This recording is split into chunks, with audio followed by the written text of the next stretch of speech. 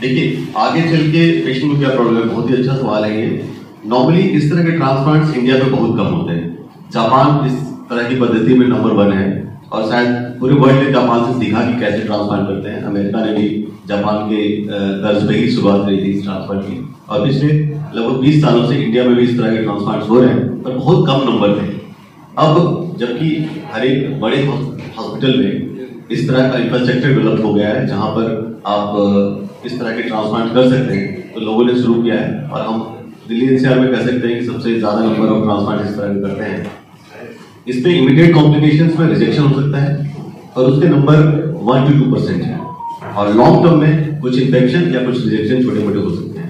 But overall देखा गया है कि अगर व्यक्ति के पास ट्रांसप्लांट का ऑप्शन नहीं है, अगर वन ग्रुप के अलावा उनके पास डोनर नहीं है तो उनके लिए बहुत ही अच्छा है बिकॉज़ डायलिसिस पे जो डेथ रेट है, लगभग तीस परसेंट है पर ईयर मतलब अगर सौ लोगों की डायलिसिस स्टार्ट होती है तो ये अनुमान लगाया जाता है कि अस्सी लोग ही जीवित होंगे एक वर्ष के बाद। जबकि अगर सौ लोगों का भिन्न ब्लड को ट्रांसप्लांट किया जाता है तो जो स्टेटिस्टिक्स कहती है और जो हमारा एक्सपीरियंस कहता है कि लगभग 96 97 परसेंट लोग एक साल के बाद अच्छे ट्रांसफ़र के साथ जीवित भी होंगे और एक अपना जो काम धंधा होता है, उसको भी कर पाएँगे उसका कॉस्ट तो जेपी ग्रुप बिहार कब आ रहे हैं देखिए जेपी ग्रुप अपना जो ट्रांसप्लांट की ओपीडी है वो जल्दी अगले महीने से स्टार्ट करने वाली है।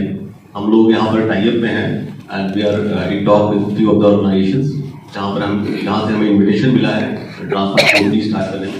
एंड ग्रेजुअली देखते हैं जैसा एक बड़ा कॉर्पोरेट ग्रुप है वो ग्रेजुअली हो सकता है एक्सपैंड करे और यहाँ भी अपने सेंटर्स लेके आए। We are hopeful of that कि हमारा ट्रांसप्लांट सेंटर ना केवल दिल्ली एनसीआर के अंदर में, बल्कि इंडिया के हर एक कोने में हम पहुँचे और एक अच्छा सक्सेसफुल ट्रांसप्लांट करें। तो देश से, के अलावा विदेशों से भी पेशेंट आते हैं। करीबन करीबन दो सौ, ढाई सौ ट्रांसप्लांट हमने विभिन्न देशों में किए हैं।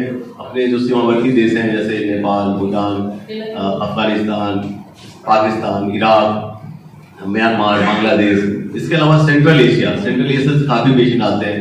पूरा का पूरा Africa, Philippines, Vietnam Madagascar, Malaysia, इन सब देशों से भी हमारे पास ट्रांसप्लांट के पेशेंट आते हैं और हमने करीबन दो सौ ढाई सौ ऐसे ट्रांसप्लांट किए जो इन देशों के व्यक्ति आए हैं। इनके लिए सबसे बड़े फ़ायदे की बात है कि जो हमारा ट्रांसप्लांट का कॉस्ट है, वो बाकी विदेशों से बहुत कम है। जैसा कि अभी गवर्नमेंट ऑफ़ इंडिया ने इनिशिएटिव भी लिया हुआ है heal in India programme India में आकर के इलाज कराए। तो ये देखा गया है कि अगर हम विदेशों से कंपेयर करें तो हमारा जो जो भी हेल्थ प्रोग्राम है वो काफ़ी कॉस्ट इफ़ेक्टिव है और बहुत ही अच्छा सक्सेस रेट है। इसलिए विदेशों से भी हमारे पास कई सारे पेशेंट आते हैं जो अपना ट्रांसप्लांट और अलग अलग चिकित्सा पद्धति जो भी उनको ज़रूरत होती है उसका यहाँ पर लाभ उठाते हैं।